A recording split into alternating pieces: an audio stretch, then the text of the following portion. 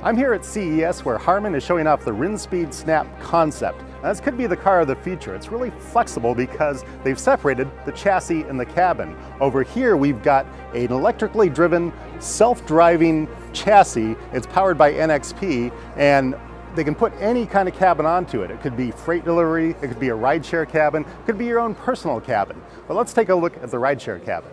With the rideshare cabin, this concept means that I could get picked up by this car. It'll take me where I want to go. It could also pick up up to three other passengers, uh, sit in these seats here. And the cool thing here is it's got facial recognition, so it'll know who I am, it'll download my preferences from the cloud, and it's got a little touchscreen here so I can choose what music I like, and if the other passengers have similar musical interests, we can share our playlists as well. The sound system in here is really good too, actually. They've got a sound bar across the top. It's a Lexicon system from Harman. They also have bass speakers integrated in the seats so I actually feel the music. And that's something that may come into a car near us sometime soon. There's a lot of screens around the cabin, and if I don't really want to share with the other passengers, I can just fold this thing around. I've got my own personal uh, screen. It's actually got an iris recognition thing too, so if I've got secure information, it'll scan my iris and give me something only I can look at.